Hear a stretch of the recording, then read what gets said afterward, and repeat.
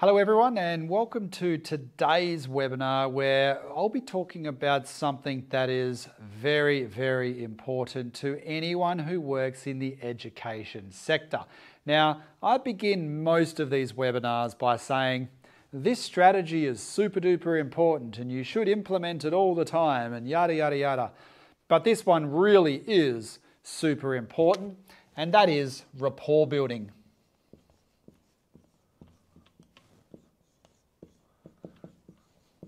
So there is a never ending amount of research from the 60s right through to today that shows students find it really difficult to learn from people that they dislike. And I don't think that that should come as any surprise. If you've ever been in a classroom and you didn't really like the person that was teaching you, whether it was a seminar or whatever, it's really difficult to listen to what they say and to be actively engaged and motivated to learn and to want to learn from that person who is, I guess, the expert. Now, rapport building is basically, as a bit of a working definition, the professional relationship between the student and the teacher. So, rapport means that the student likes the teacher, in other words. And it's not like in any type of uh, weird or strange way. Uh, it just, but in a very professional sense. So that doesn't mean that the teacher can't tell the student off or that the teacher can't be stern. In fact, there's some more recent research out that shows that students prefer to be in classes with teachers and teacher aides who are very, I guess you could say, stern. Not aggressive, not uh, angry and not out of control, but uh, on the ball, confident, and uh, in charge, I guess you could say. And I, I, I sort of think that's some interesting, uh, I guess that, that has been some interesting research because uh, there's been a big push in the last 10 or 20 years as far as rapport building, as far as that softer side, I guess you could say, of education, um, and less of an emphasis on the idea that uh, we can be not tough, but we can be stern. We can put our feet, foot down, and we can be in control of the class. So, uh, if you do uh, read books and things like that about education, more modern books that come out, even if you just look on Amazon or wherever, um, you'll see that most of them or a lot of them deal with some type of rapport building or relationship building as a central theme. Now, there's nothing wrong with that necessarily, but there is that more, I guess, a bit of a, a softer, hippie type emphasis on getting along with students uh, without balancing that out with the idea that teachers or teacher aides need to be in control of their class. Now, I, have spent quite a bit of time dealing with that topic and teasing that out a lot uh, in my uh, in the behaviour management type lectures and behaviour management book, uh, but I just wanted to emphasise that because um, again, if you read anything on rapport building or in the education sector these days, it's uh, I think it's a little bit unbalanced in that sense. So, rapport building is about having relationships, positive relationships with students. So, you know them, they know you. There's a back and forth respect in a sense, but that doesn't mean that um, you can't tell a student off or you can't um, put consequences in place. And that doesn't mean that they're always going to like you. Some days they won't be in the best mood, um, and some days you won't be in the best mood. But anyway, so I hope that works uh, for you as far as a definition uh, of rapport building. But if you just think of it in terms of equals professional relationship. Professional relationship. So um, that's the best definition, I guess, I can think of uh, for a rapport building uh, at, this, at this stage, and um, I think that definitely helps us. Now, again, the research is quite clear, and I think anyone who's worked in education for a long time would know that the better the rapport that you have with students, the less behaviour management issues you're going to have.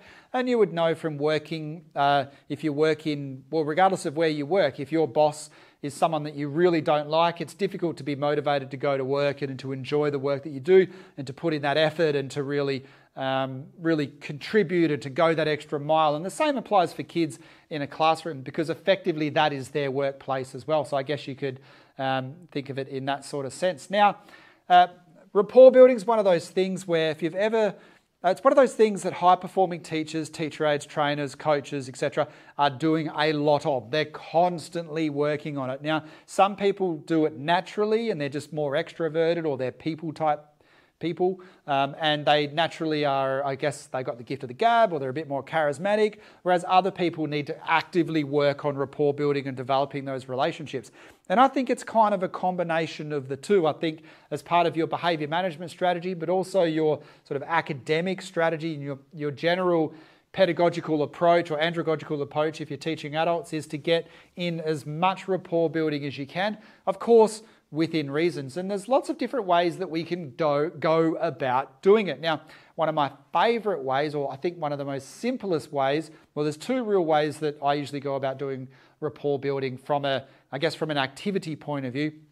I hate doing icebreakers, so I never do those. I think they're horrific. Um, but not to say that I don't, I don't recommend people don't do them, but I think they're just a waste of time. Um, but what I do is I normally talk to people at some point during the lesson. So usually that starts at the start. So there's an uh, there's a, a, behavior management strategy called greet them at the door, and uh, what that means is that as students are walking in or before the lesson, you're circulating around and you're just saying, Hi, John, how are you going? Hi, Sarah, how are you going? Hi, Peter, how are you going? So on and so forth. And you're having a bit of a conversation uh, with them. You're letting them know that you're aware that they exist as a human being and they're not just a number.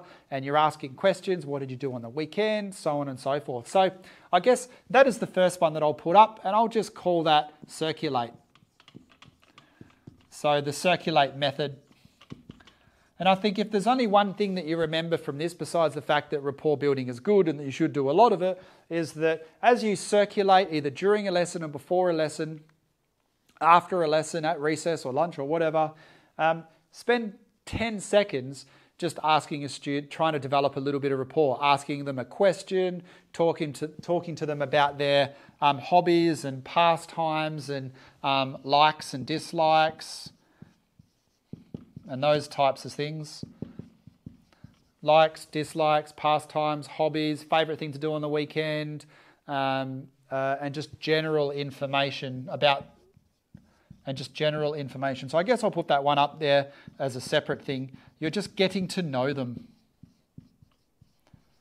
And that can mean just a two second chat, but it, what I'd like to do is if I'm circulating in a room with a bunch of students, so you go through, you do your examples on the board, they start doing their thing, and then you move from group to group and student to student or whatever. I usually do a bit of rapport building, just one for fun because it's enjoyable, but also because there are so many benefits of it. The other thing that happens with rapport building, by the way, is not only does it reduce behavioural issues, but rapport building is seen as credit in the bank. I'll write this up the top.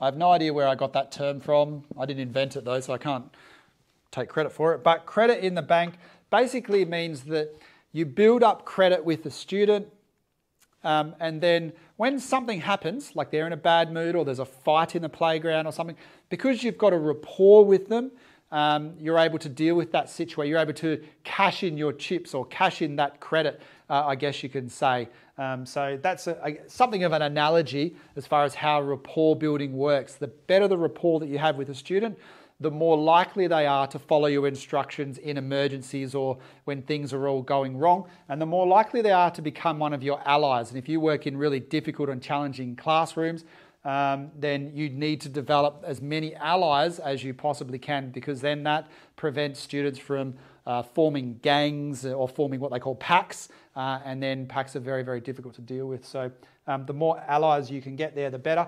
So what I like to do is if I am circulating around, is I'll go to that group there, I'll sit or crouch or stand there or whatever, and I'll say, okay, how do you, what do you do on the weekend? 30 second chat, and then say, how are we going today? Do we know what's going on? Okay, good, and then move on to the next one. So that rapport building can take the form of just a quick 30 second chat as you walk in the door. Another little trick that I like to use uh, is a, I'm going to call that notice objects or possessions. Yeah, just notice objects will do. So what that basically means is, say, a student's walking in the door, they got some weird, funky shoes on, and you're just saying, "Where did you get those weird, funky shoes from? They look like clown shoes, but in a good way. I like them." So you're just complimenting them in some, on some fashionable sense. Obviously, you've got to be really careful about doing that. So, um, you know, just bear that in mind. Uh, you've got to think through what you say before you say it. Um, but noticing objects can be an interesting way. If students have got um, a, a, backpack or they've changed their hair or something like that, that can be a good way to just let them know that you're paying attention, that they're not just number 722, that they're actually a human being. Another thing that you do is names. Now, there are two ways yeah, probably two ways. Obviously, you can have nicknames and things, but that gets, again, uh, I'm not going to include that here because I think that's a high risk uh, strategy, but obviously having nicknames for students can uh, really help as well. But, um, and we'll write humour. Uh, yeah, humour and tell them about yourself and professionalism. Sorry, I'm just going to write these up. Is a good one. Um, and some others will come to me in a minute. Okay, so using the names, there's basically two different ways you can do it. So firstly is called learn names fast.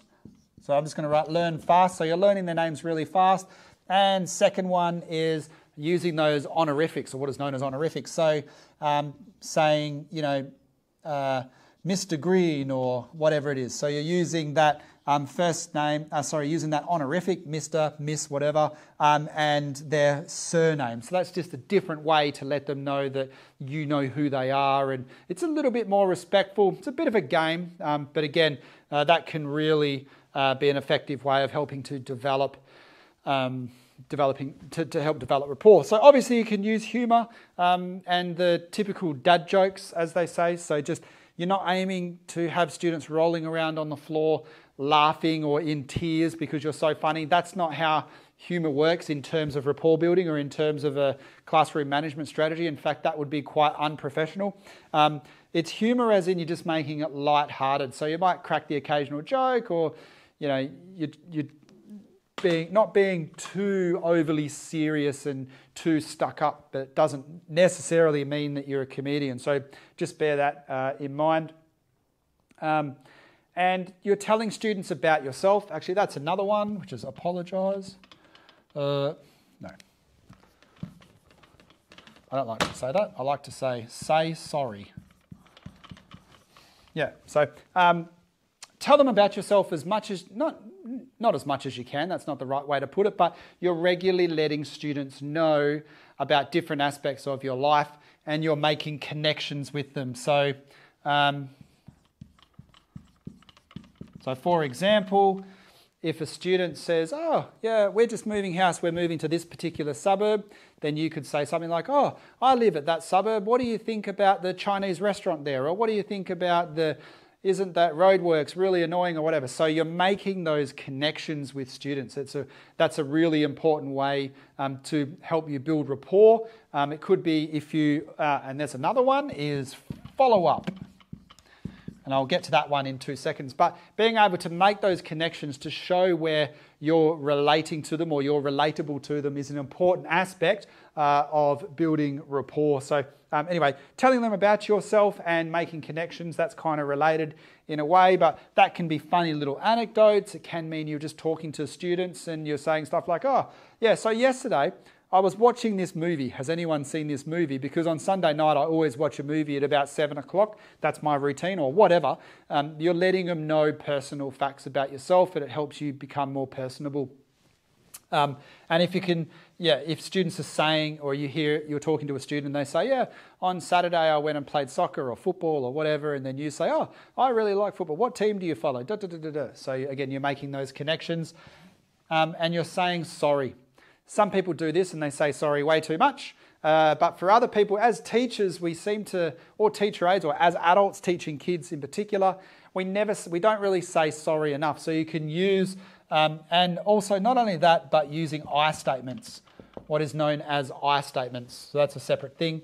Um, and that means I feel uh, a little stressed out today, or look, I'm not having the best day, or I'd really appreciate it if you guys were able to do this, or I feel like today you're a bit off and it's making it difficult for me, those types of things. So you're using those personal I statements that ex- particularly when they explain how you feel and your expectations and so on and so forth. So that again, it helps build rapport, but it also helps with behaviour management because it's very difficult for um, other human beings. There's this natural instinct to um, have a certain amount of um, empathy and sympathy for um, other people. So um, don't be afraid to say, oh, sorry, everyone, I didn't photocopy this, or sorry, everyone, I forgot to do this, or sorry, I made this mistake on the board, or oh, sorry for that, I've sort of wasted a bit of time, or whatever. So um, feel free to you know, think about that.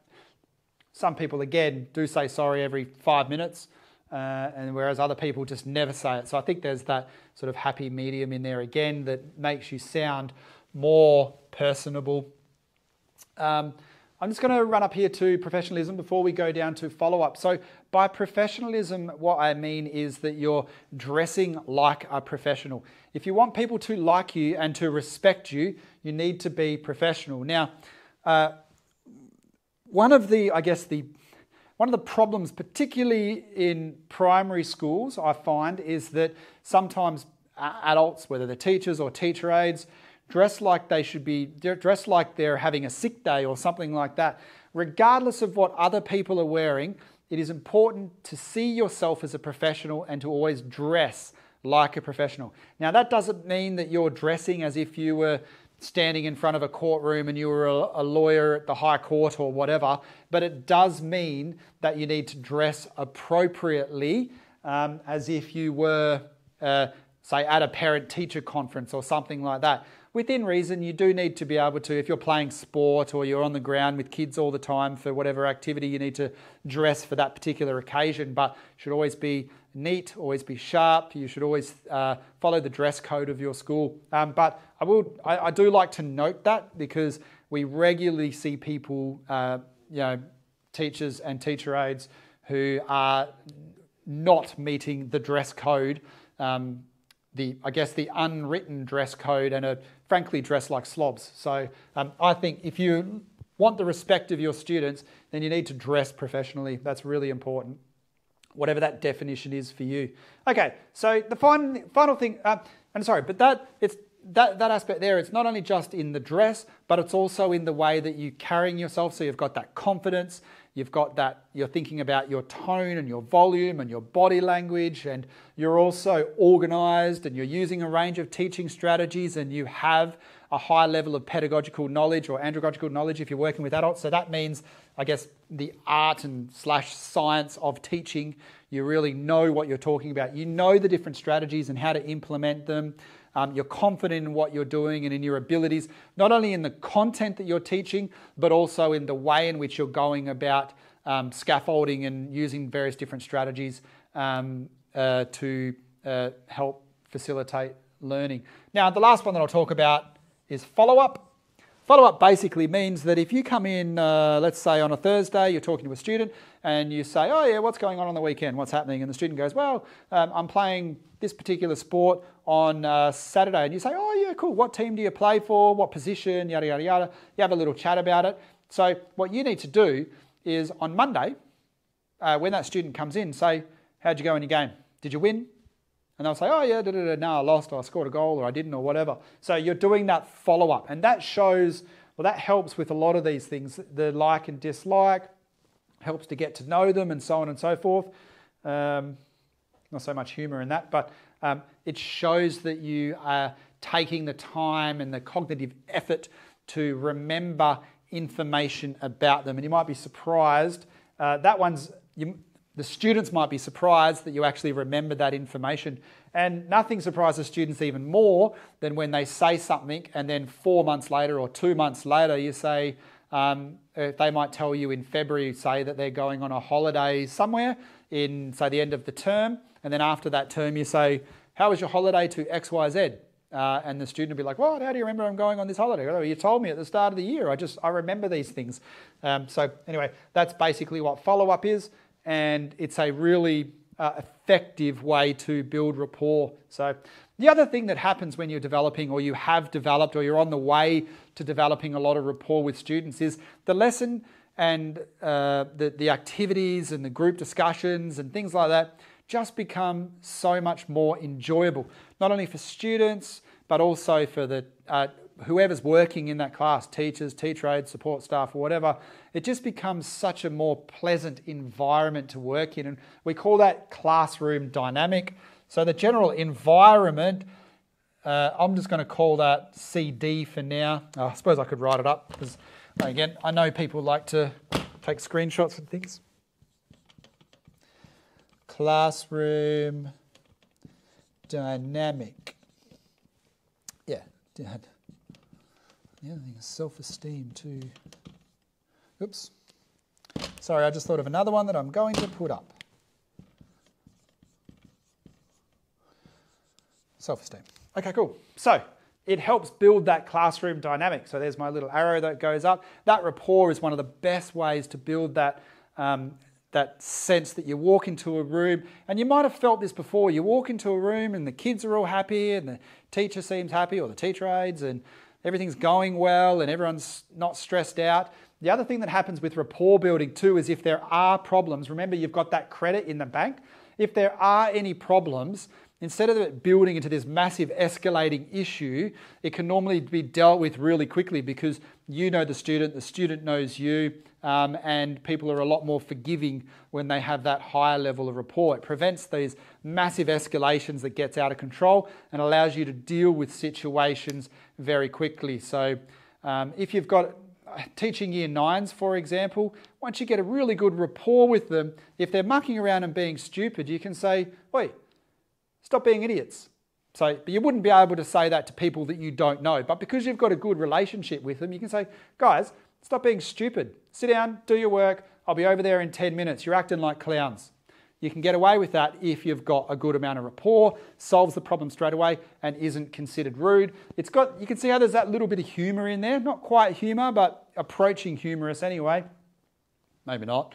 Um, but it's light. It's not aggressive or stern. Whereas if you don't have that rapport, um, then the actual response to those students has to be uh, more I wouldn't use the word professional, impersonal. So it has to follow the stringent, right, if you're behaving like this, the consequence is X or whatever. Whereas if you've got that rapport, you can go through that process. Now, just one last final thing, or two final things. One, obviously that helps improve students' self-esteem, particularly this day and age where some students are from single parent households and things like that. So it does help students build that self-esteem. You can help them set goals um, and so on and so forth because they're developing those relationships, they're achieving goals, they're more willing to participate. And if you're combining this stuff with coping strategies, transferable skills, and metacognitive skills, and a wide range of different teaching strategies, then that's certainly going to go a long way in boosting students' self esteem, not just now, but in the future as well. And the last thing I was going to say about credit in the bank and this sort of concept that every time you build rapport, it's like a savings account. You're saving up money that you can withdraw when you need to. So the example I like to use is um, let's say you're at an assembly and there's a couple of kids in your class that you've got a good rapport with, and these are a pain in the ass kids that are always misbehaving and so on and so forth. If you've got a good rapport with them, then you could look at them when they're 10 metres away and sort of go, and they'll do what you say. Whereas if a teacher or teacher aide who doesn't have that rapport, they're going to either ignore you or start talking or, um, or whatever. So having that rapport enables you to deal with those situations so much more effectively than if you didn't.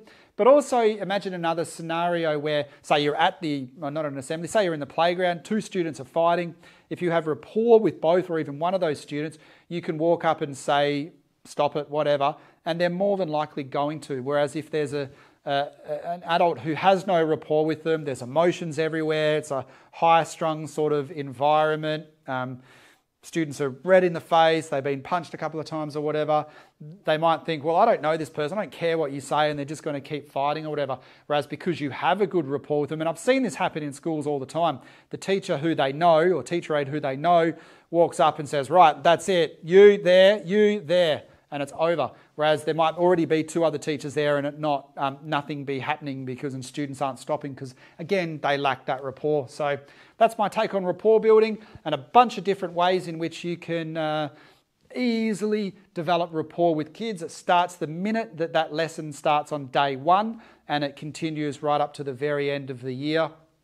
Um, the other thing I like to say about rapport building, just to sign off, is that not only is it easy, but it's free. It doesn't really, it doesn't take any time, it doesn't cost you any money, but the benefits, particularly the medium and long term benefits, are just phenomenal. So please use rapport building uh, as a strategy, as an ongoing strategy, um, not as a chore, um, but as something that is uh, a professional skill, whether you're working with kids or adults or not even outside the education sector. So um, enjoy.